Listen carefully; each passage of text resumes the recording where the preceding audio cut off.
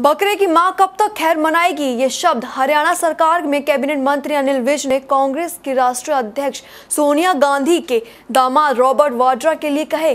बता दें कि विज ने रॉबर्ट वाड्रा के उस बयान पर प्रतिक्रिया दी है, जिसमें रॉबर्ट वाड्रा ने ये कहा था कि बीजेपी के पास उनके खिलाफ कोई सबूत नहीं है। यही कारण है कि कई साल बीत जाने के बाद भी सरकार उनके खिलाफ कोई कार्रवाई नहीं कर पाई है और ना ही आगे कर पाएगी। वहीं इस दौरान गोयल ने कहा कि कानून कायदे की सरकार है बीजेपी सरकार थोड़ा समय तो लगता ही है।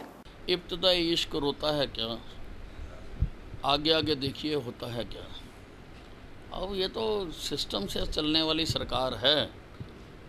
अब कोर्टों में मामले चल रहे हैं और दूध का दूध और पानी का पानी हो जाएगा। बकरे की माँ कब तक खैर मनाएगी? जिस तरह वो कह रहे हैं ढाई साल बीत चुके हैं कुछ नहीं किया आगे भी कुछ नहीं देखिए, हम रिवेंज फुलो वाली सरकार नहीं है। हम कायदे कानून वाली सरकार हैं। और इस कारण से समय लगा। अगर हम रिवेंज फुल वाली सरकार होती तो जवाई राजा को जिस दिन हमारी सरकार बनी थी, उसी दिन किसी न किसी जेल में ठोक देते।